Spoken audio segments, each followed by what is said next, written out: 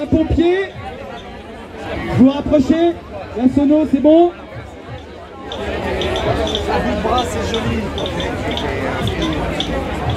Ok.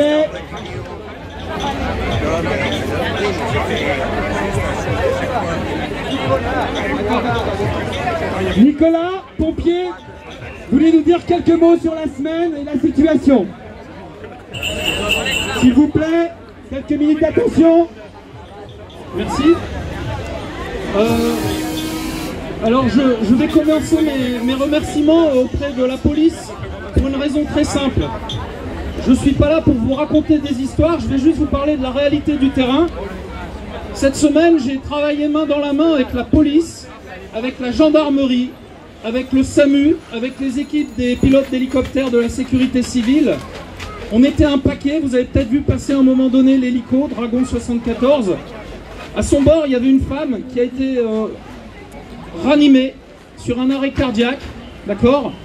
Sachez que dans l'équipe qui est intervenue à son secours, au départ, il y a une femme de ménage, tout simplement. Celle qui a fait le maximum pour sa copine, sans savoir comment ramener une, personne en vie. Donc déjà, vous pourriez l'applaudir, je pense qu'elle en a besoin. Quand je suis rentré, quand je suis rentré dans l'établissement qui recevait du public, personne ne m'a demandé un pass sanitaire pour aller faire un massage cardiaque. Dans l'équipe des sapeurs-pompiers, dans l'équipe du SMUR, il y avait la moitié de l'effectif qui n'est pas à jour de ces putains de papiers qu'on nous réclame et qui servent à rien. En tout cas, ça ne sauve pas les vies. Ça veut dire que la même équipe, le même jour, si on avait respecté les consignes de notre hiérarchie, on devait rentrer chez nous parce qu'on n'était pas apte à prendre notre piquet.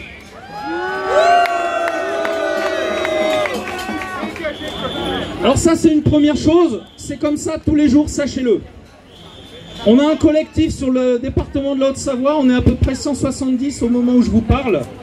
Il est constitué de sapeurs-pompiers de tout statut, c'est-à-dire des pompiers professionnels comme des pompiers volontaires.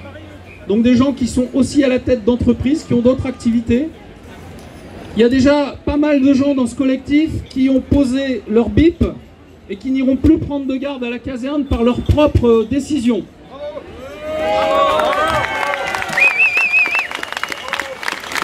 Alors je suis pas sûr qu'on doive les applaudir, je suis pas sûr que vous ayez à nous applaudir, parce que nous on est inquiets pour la santé de ceux qui sont habilités à travailler dans les centres de secours, parce qu'à un moment il va peut-être falloir les remplacer quand ils vont commencer à avoir certains signes. Mais on peut vous applaudir parce que, Et on se demande qui ce sera. on peut vous applaudir parce que vous avez des couilles. On vous applaudit très fort. Je les montrerai pas.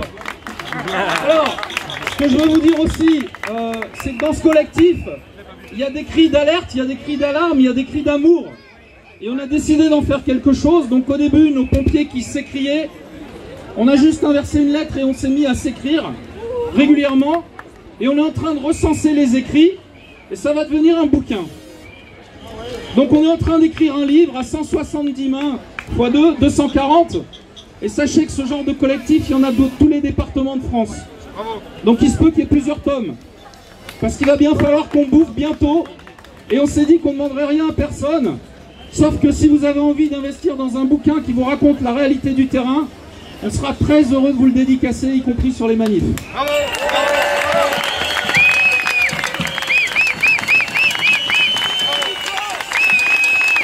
troisième chose, la troisième chose, c'est qu'on a quand même des mesures de salubrité à vous passer pour cet après-midi.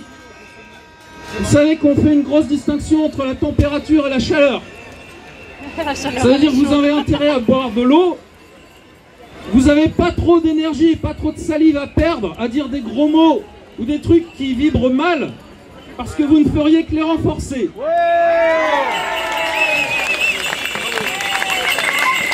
Donc ça veut dire qu'on est capable de lire ce qu'il y a sur ces beaux panneaux, vous savez lire sur nos t-shirts. Il y a un seul mot qui prend pas trop de temps, qui prend pas trop de salive. Et quand il vibre à l'unisson, comme on va le faire maintenant, liberté, ça peut tout changer. Tout.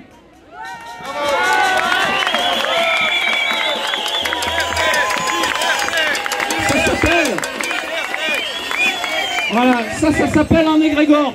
Et ça veut dire que si depuis Annecy, il y a un truc comme ça qui démarre, ça peut faire comme sur un bel incendie, une étincelle de joie, de bonne humeur, et c'est tout ce dont on a besoin. Et ça l'éteint. Voilà. Parce que le secret, c'est les soignants qui vont vous le confirmer, le secret pour aller bien dans la vie, c'est de rire gaiement parce que c'est le meilleur moyen de guérir. Voilà. Bon, pour terminer, pour terminer sur le cortège, s'il y a des gens qui font des malaises, ça peut arriver les coups de chaleur. Ça veut dire qu'à ce moment-là, il faut les signaler, il faut essayer de faire un peu d'espace autour de la personne. Et je suis presque sûr que vous aurez plus de pompiers et de soignants disponibles dans les 15 secondes que le temps qu'ils arrivent depuis les centres de secours qui sont en train de se vider.